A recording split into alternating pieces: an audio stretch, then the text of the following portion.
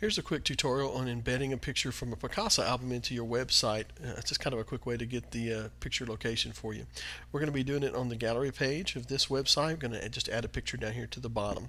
First thing I want to do is go to the Picasa web album. I'm already logged in and I'm viewing the, the albums. I'm just going to click on an album and find the picture I want to use. Click on it and then I want to go to link to this photo.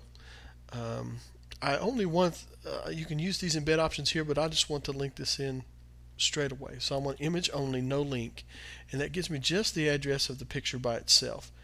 So I want to copy that, go back to my control panel, and the first thing I want to do is set this up where to show correctly on my page. So I go to Resources, HTML Code Snippets for use, uh, and I come down to the area that says Embed code images from another website. And what I want to do is replace this information in here. It starts with HTTP.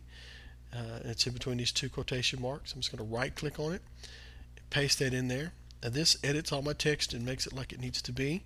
the only thing I need to do is choose the size. I want to set it at uh, uh, pretty good size. I'm going to set it at 300 pixels wide. And then I'm going to copy this text that I've made, my code, copy that. And then I want to go back up to my control panel area um, and I want to go to the text area that I actually want to edit which in this case is the gallery page.